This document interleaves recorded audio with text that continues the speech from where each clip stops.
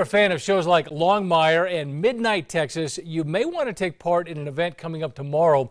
Props from those shows and other productions shot here in New Mexico are up for grabs and they are priced to sell.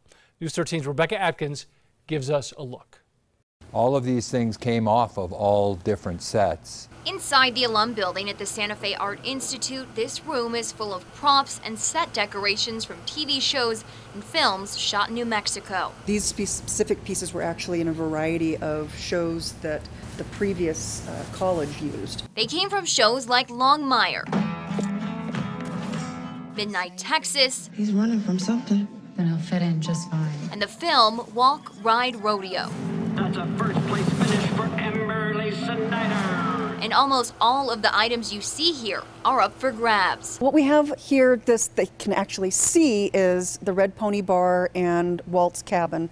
Those physical sets are not for sale, but what we do have is a lot of the set decorations and um, costumes. It will all be sold off tomorrow by the Stagecoach Foundation, based out of Santa Fe and co-created by George R. R. Martin. We're um, a nonprofit that's Mission is to provide free training for New Mexicans in front of and behind the camera. Some of the items are very specific. So we have a lot of vintage, vintage, really cool uh, knickers and stuff like that. And others serve more practical purposes. Of course, for Santa Fe, this kind of bed head bed set is pretty cool. Some props will cost you a couple of bucks, but nothing is more than 150. There's a lot of stuff in here that I think is really, really cool and unique. And then the extra part that it came from a film, it's always nice to say, oh yeah, that came off the set of Longmire or off of Midnight Texas. Rebecca Atkins, KRQE, News 13.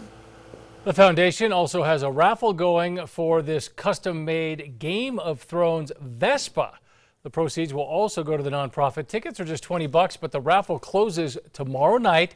For details on that sale and the raffle, head to alwaysonkrqe.com.